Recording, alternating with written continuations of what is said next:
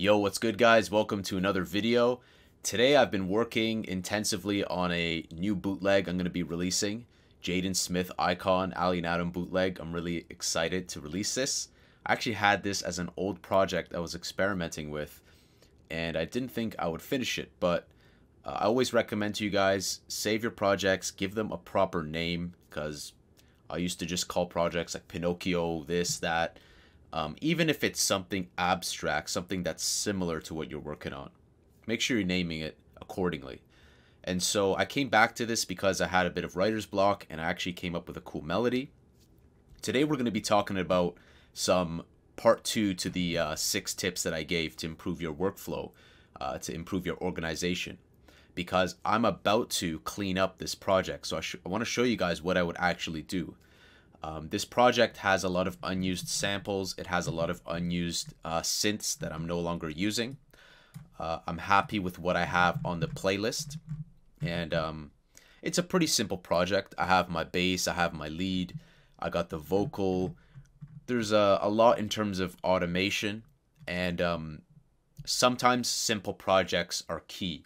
Um, I went down to a master class held by a artist called Hunter Siegel and one of his projects actually had little to no effects. So sometimes my projects have a lot of effects, sometimes they have uh, less.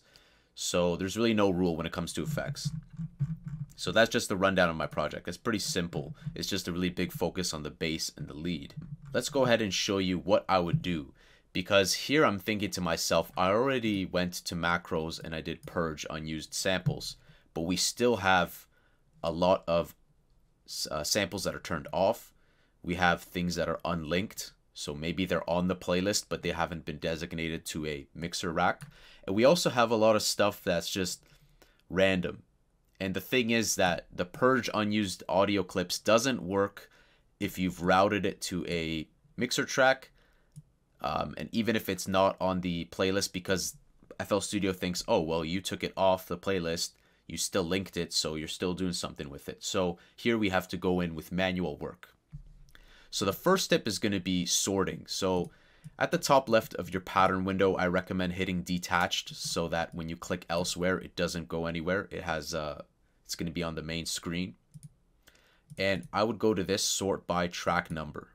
What this does is it organizes your samples and synths, everything. Make sure you're on all so you can see everything that you're working with.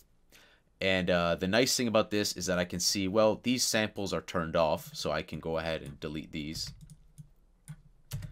And if you're concerned, go ahead and hit Control N. That will save a new version of your project if you're afraid you might uh, make a mistake because these actions you can't undo. But these I'm not sure. So what I would recommend is mute the project, bring the master all the way down. And I like to do this sometimes. I just I play with this, the arrow, I click and hold it, and I see, am I triggering any sample? Because if a mm-hmm. sample or a synth is playing, you're going to see it light up, like how you see it there. And so I don't see anything. So it's highly likely I didn't use those because I'm not familiar with these. I don't think I've used these sounds. Nope. Definitely not. So I would go ahead and delete those. Now we're left with some main things. Now we can see here there's nothing on one because one is a mixer bus of the kick and bass combined into one.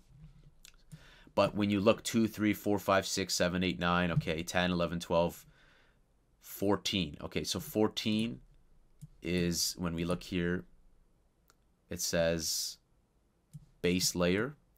Yeah, it says bass layer. Let's make this wide so it's a bit easier to see. So it says bass layer, but nothing is on that. It's off. Um, there's nothing else that's on 14, and 14 is just a synth that's been turned off.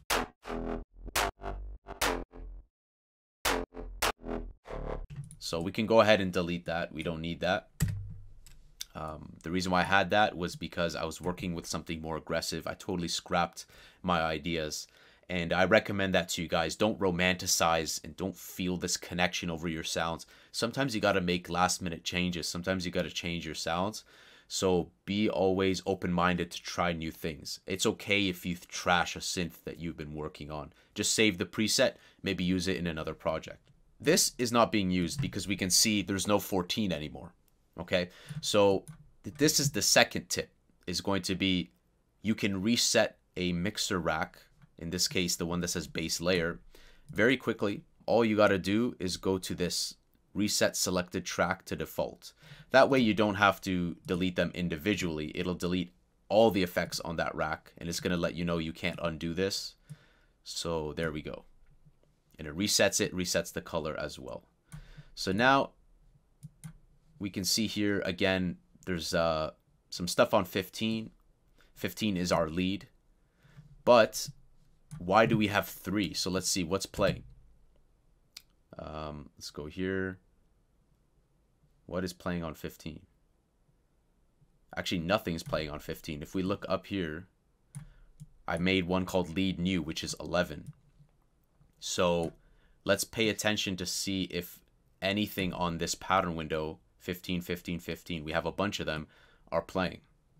And we can see nothing is playing when we've muted the project. Be careful in case you have a tiny sample. So if you guys have little snippets of samples, you might want to put more care. Don't just quickly skim through it like this. But yeah, there's nothing on 15. And we can also take a look at the mixer in real time. We can see nothing is playing through 15. So what are we going to do here? We're going to listen.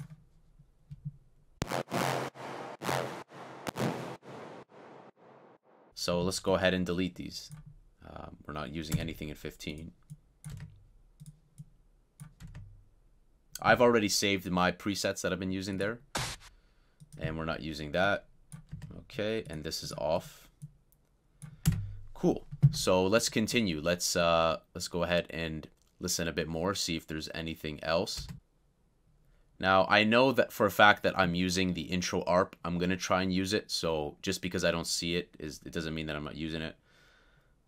But uh, let's skip over to this guy. Now we can see, again, 15, because 15 was not used, we're going to reset that. Reset selected track to default. And we're going to free up a lot of RAM. Freed up around 200 megabytes of RAM. And what we can do, let's go to compact. Let's control to select multiple. Alt, let's move these guys down here. When we come back here, I'm going to hit sort by track number again and see here, like, what are we working with? Lead new. Okay, I know I'm, I know I'm not using this for fact kick because my kick is, like I said, combined in the tracks one, two, and three. If we play this back, nothing. So let's go ahead and delete instance number 13. And when we come back here, we are going to reset this track to default. Again, freeing up more RAM, um, freeing up more CPU as well, because a lot of these synths sometimes, or sorry, the effects might not turn off, or they might have something when they're idle. The plugin window might be open. So this is taking up precious GPU and CPU resources. Let's continue. So this can sometimes get really tedious, but guys, trust me, it's going to make your projects much more easier to deal with. Now, I know I'm using 14. I'm going to use that somewhere but it's not named properly here. So I'm just going to call it mouse chords. You can hit rename. Um, I know I'm using this, my pad. Okay. And the rest, I know for sure these are all used. I've used all these effects. It's really what starts after this 30. That's really the uh, that's really the problematic area. And and I know that because I haven't named these, and I know it's probably just a lot of trash that like I was experimenting with. Because you always gotta try, trial and error. So what is this? Yeah, we're definitely not using that sound. We're gonna see, is it triggering? Again, here we're not listening, we're just looking visually to see if we see any dB on the mixer track 30 and if there's anything on the pattern window. Nothing on the pattern window, nothing there. So safe to delete. And wow, there's a lot of plugins used there as well. So let's go ahead and reset that. Fabulous. And let's move it over there. Just keep it clean. These are empty, so let's, again, move it there. Um, let's start from here. And again, let's just sort this because when you move them around, you're going to want to sort this by number again so you can see it. And let's look at number 30. So we're working with number 30. Let's make this a bit smaller. Again, we're going to play this back. See anything? 30? No. And it says 30 is a bass drum. And Nothing. So let's go ahead and delete that one as well. Let's just listen to this. See if we recognize the sample. So we're not using that. Absolutely not. That's not my kick. So let's go ahead and reset that. All right. And we can go ahead and delete that as well. So let's continue. We are getting close. And we can see here, there's nothing between 30, 31, 32. We just cleared 30. There's no 31 or 32. So what does that mean? It means that we deleted them. We perhaps purged them because there was no effects on them anyways. So we keep going on. 33. We have Soundgoodizer. So it's just like a little saw. I know I'm not using that, but if we want to play it safe, we can just double check. Again, nothing. So let's go ahead and delete that. And we're going to go ahead and reset the selected track to default. Fabulous. So we are down to, well, look at that. So 29 jumps to 41. So there's nothing between this. All of those are unused. So because of that, if we're extra paranoid again, track sorted by track number, again, there's nothing routed there. So boom, boom, boom. So many unused stuff. And we can see there like a lot of unused stuff. So I'm going to try doing this. I'm going to select hit control, hold control, and with your mouse drag all the way to 40. Now be careful in case you, ha you have routing, right? Because remember what I said, just because I don't have something on 1 doesn't mean 1 is unused. I just am routing 2 and 3. Let me show you here. I'm just routing 2 and 3 to 1. So be careful in case you guys are doing um, mix bus routing. Okay, just be mindful of that in case you guys are routing multiple things to one. But we're okay. It's only my kick and bass that I'm doing that. So we're going to come back here. 34, we're going to delete all the way to 40.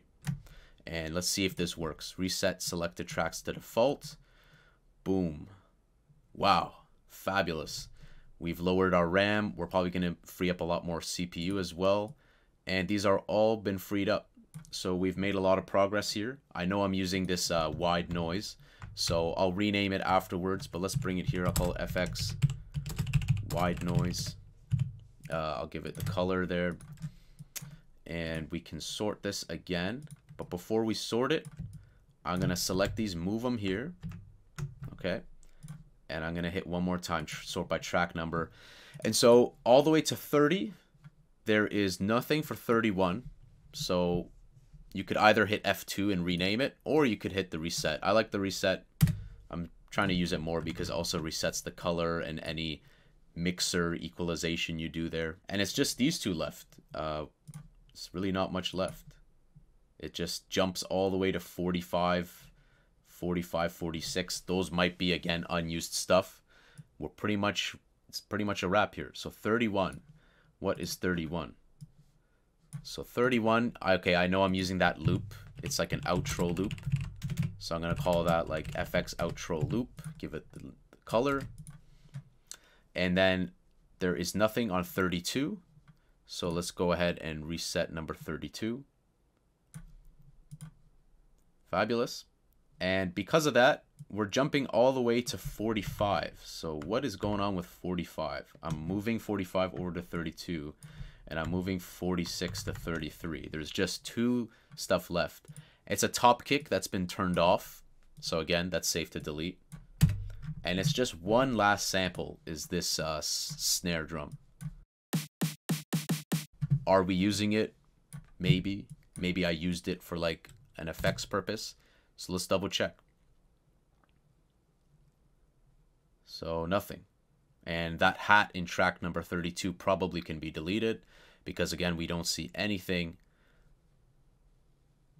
Nothing. And let's check the hat because that snare drum sounds foreign to me. It doesn't see, it's not something I'm using in my project. Yep, we can delete that one too. So fabulous. And we'll delete that one. Perfect. So you can see guys, this is what I wanted to do. I wanted to show you guys how I would clean up the project. I'm going to save a new version or hit control N. And that way we freed up so much more memory, a lot more resources. This will give you the ability to render your projects without erroring out, especially if you guys are on 32-bit, because when you start approaching 3 gigabytes and onwards, you might have to open your project in 64-bit FL Studio. That's why I've transitioned to 64-bit because it was just pissing me off. There's some plugins that I like using in 32-bit, like the Nexus and, and other stuff, but you can just use the bridge. And 64-bit is a lot more a lot more flexible, especially if you have a big project and you want to render it without problems, because I always encountered that with 32-bit. So I hope you guys like those tips. A being, you know, sorting by track number and as well as resetting the selected tracks because then you can delete a whole bunch of tracks. So by visually looking at the pattern window and the mixer and playing back your project, just looking at it, you'll be able to identify what you are or aren't using. And again, if you're paranoid about it, just hit Control N and you have a new version of your project. So I hope you guys like this uh, small couple tips and it'll definitely help you guys when you are cleaning up your projects because you don't want to render stems that you're not using because then you know the cleanliness and the issues you have now a little bit of organization goes a long way to save you time and trouble when you're rendering your project or your song so if you guys like this video remember to smash the like button drop a comment. Let me know what you guys want to see in terms of anything tutorial sound design. I love your guys suggestions. The big room track from scratch i'm going to be working on that this week. Um, and that's a wrap. I'll see you guys very soon. You guys have an amazing weekend. Take care